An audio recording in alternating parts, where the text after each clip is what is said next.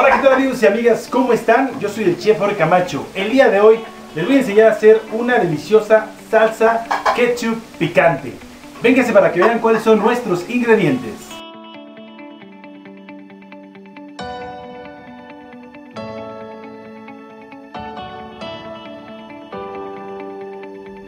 Bueno, pues para esta rica salsa ketchup necesitamos lo siguiente.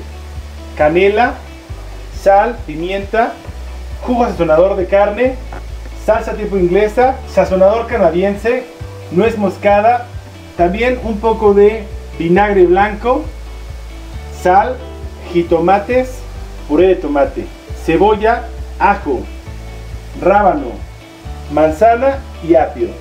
Bueno, pues vamos a nuestro procedimiento.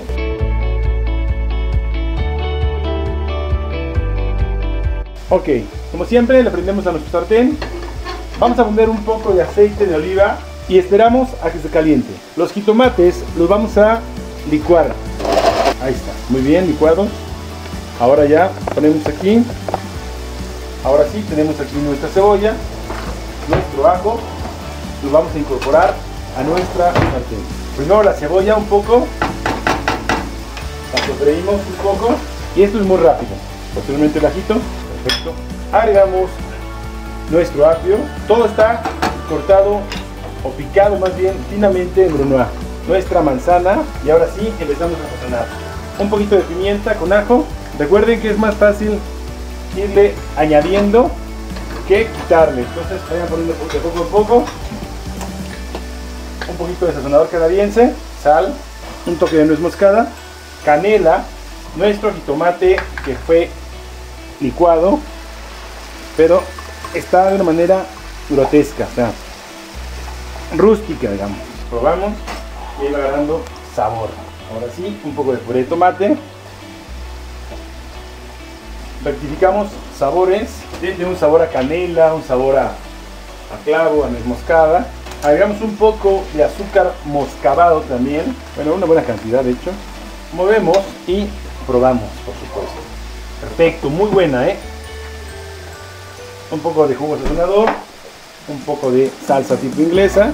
Y con esto vamos a hacer unas ricas hamburguesas. Que van a ver qué deliciosas nos van a quedar. Un toque de acidez, vinagre, ya saben, blanco. Pero pueden ocupar otro vinagre si ustedes tienen vinagre de manzana, sin problema. Por último, nuestro rábano, que le aporta un picor rico. Y bueno, algo extra que no tenía, un poco de, o que no debe de llevar, un poco de jengibre fresco, que es este, y definitivamente nos va a enriquecer esta maravillosa receta de ketchup picante. Ya nomás qué cosa, ¿eh? Háganla, pruébenla y por favor díganme qué les pareció. Ahora es momento de hacer nuestras hamburguesas. Un poquito de ketchup. Pues amigos, aquí está nuestra rica salsa ketchup picante. Está buenísima. Se la recomiendo mucho. Háganla.